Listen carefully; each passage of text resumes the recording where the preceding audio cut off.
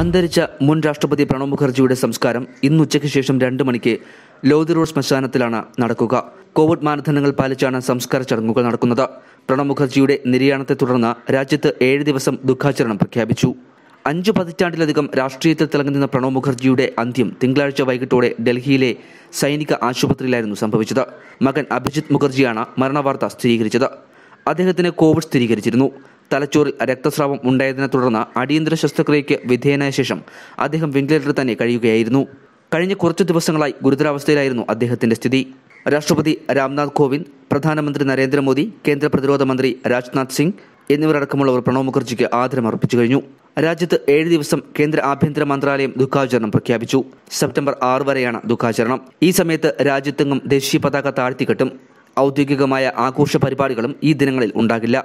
കോൺഗ്രസിൽ ഇന്ദിരാഗാന്ധിക്ക് കീഴിൽ നേതൃസ്ഥാനത്തേക്ക് ഉയർന്നു വന്നതാണ് പ്രണവ് മുഖർജി. സ്വന്തം തലമുറയിലെ നേതാക്കളിൽ ഏറ്റവും പ്രധാനപ്പെട്ട മുഖമായിരുന്നു ഇദ്ദേഹത്തിനത് അഞ്ച് ദശകം നീണ്ട രാഷ്ട്രീയ ജീവിതത്തിൽ വിദേശകാര്യം പ്രതിരോധം വാണിജ്യം ധനകാര്യം തുടങ്ങി പ്രധാന വകുപ്പുകൾ യു പി എ സർക്കാരിൽ കൈകാര്യം ചെയ്തു. ഇന്ത്യയുടെ പതിമൂന്നാമത് രാഷ്ട്രപതിയായ പ്രണബ് കുമാർ മുഖർജി ഇന്ത്യയുടെ പ്രഥമ പൗരനായി അധികാരമേറ്റെടുക്കുന്നത് രണ്ടായിരത്തി പന്ത്രണ്ടിലാണ്. കേന്ദ്രമന്ത്രിസഭയിൽ ധനകാര്യ വകുപ്പ് മന്ത്രിയായും പതിനാലാം ലോക്സഭയിലെ വിദേശകാര്യമന്ത്രിയുമായിരുന്നു അദ്ദേഹം. ആയിരത്തി തൊള്ളായിരത്തി മുപ്പത്തഞ്ച് ഡിസംബർ പതിനൊന്നിന് ബംഗാളിലെ മെറാത്തി ഗ്രാമത്തിലാണ് അദ്ദേഹത്തിന്റെ ജനനം. പോസ്റ്റൽ ആൻഡ് ടെലഗ്രാഫ് വകുപ്പിലായിരുന്നു തന്റെ ഔദ്യോഗിക ജീവിതം അദ്ദേഹം ആരംഭിക്കുന്നത്.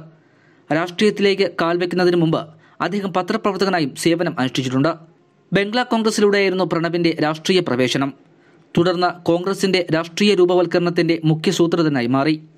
രാജ്യസഭാംഗമായി നിരവധി കാലം തുടർന്ന പ്രണവ് മുഖർജി രണ്ടായിരത്തി നാലിൽ പശ്ചിമ ബംഗാളിലെ ജംഗിർപൂർ മണ്ഡലത്തിൽ നിന്ന് ലോക്സഭയിലുമെത്തി. ഒന്നും രണ്ടും യു പി എ സർക്കാരുകളിൽ നിർണായക സ്ഥാനം വഹിച്ചത് പ്രണബ് മുഖർജിയായിരുന്നു. ഇന്ദിരാഗാന്ധിയുടെ മരണത്തിനുശേഷം പാർട്ടിയിൽ നിന്നും പുറത്താക്കപ്പെട്ട അദ്ദേഹം തുടർന്ന് രാഷ്ട്രീയ സമാജ്വാദി കോൺഗ്രസ് രൂപീകരിച്ചു. രണ്ടായിരത്തി നാലിൽ മൻമോഹൻ സിംഗ് മന്ത്രിസഭ അധികാരത്തിൽ വന്നപ്പോഴാണ് സുപ്രധാന മാറ്റം സംഭവിക്കുന്നത്. പ്രതിരോധ വകുപ്പ് മന്ത്രിസ്ഥാനം കാര്യപ്രാപ്തിയോടെ കൈകാര്യം ചെയ്ത അദ്ദേഹം തുടർന്ന് വിദേശകാര്യവും വാണിജ്യകാര്യവും ധനകാര്യവും കൈകാര്യം ചെയ്തു. ശേഷം രണ്ടായിരത്തി പന്ത്രണ്ടിലെ രാഷ്ട്രപതി തെരഞ്ഞെടുപ്പിൽ മത്സരിച്ച് വിജയിച്ച അദ്ദേഹം ഇന്ത്യയുടെ പ്രഥമ പൗരനായി ചുമതലയേൽക്കുകയായിരുന്നു.